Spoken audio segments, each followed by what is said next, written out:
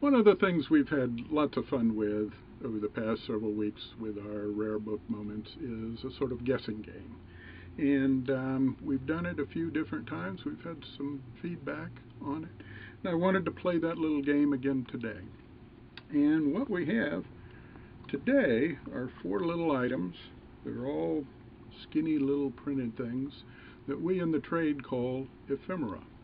They're called ephemera because they were intended to be printed for an ephemeral moment, not intended to last a long time. They were printed for a specific purpose, and then when that purpose was over, they were history, so to speak.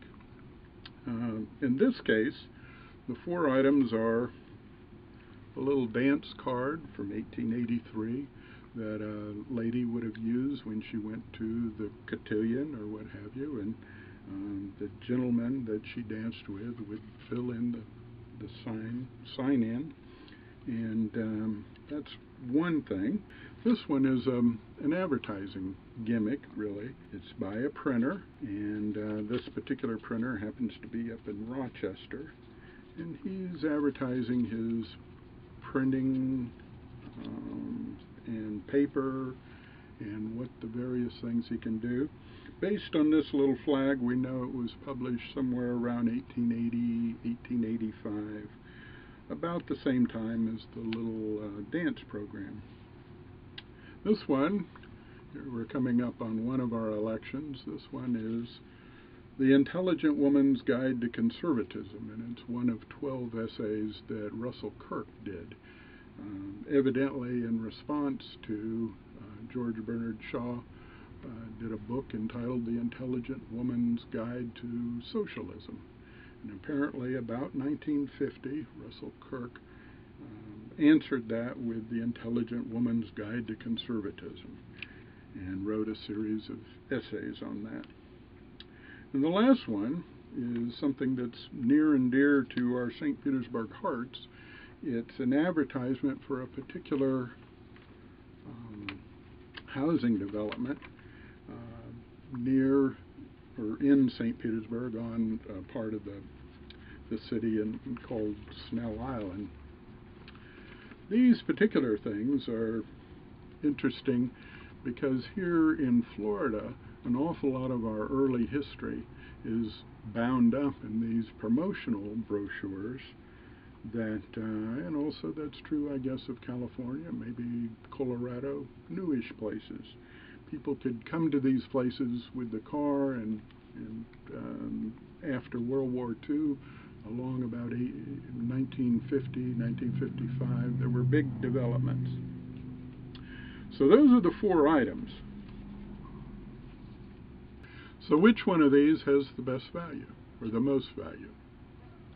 The first thing we looked at was a dance card from Monday, December 17th, 1883 in which uh, the young lady would have had all of her beaux uh, sign the card in order to get a dance with her, a quadrille or a waltz or a polka. December 17th, 1883. Number two was the printer's advertisement in which he showed off his ability to use different inks and fancy papers from about 1880 or 85. The third item was Russell Kirk's The Intelligent Woman's Guide to Conservatism.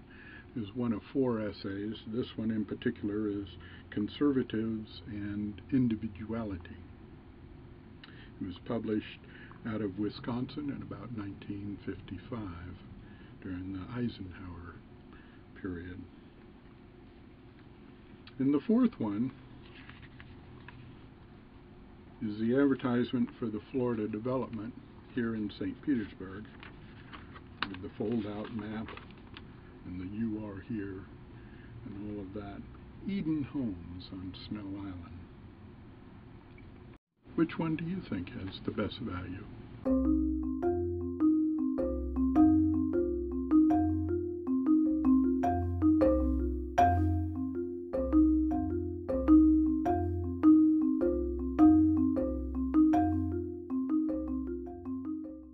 Have to tell you that this was sort of a trick question. None of them have great value. All of them are in the 10 to $30 range, something of that nature.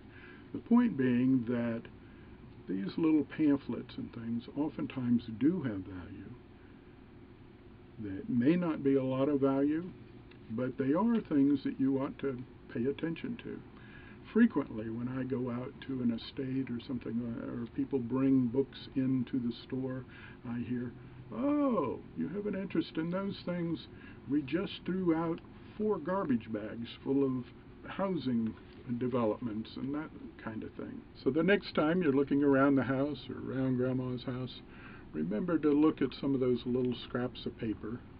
Some of them may be interesting, some of them may have some value. I think you'd enjoy it.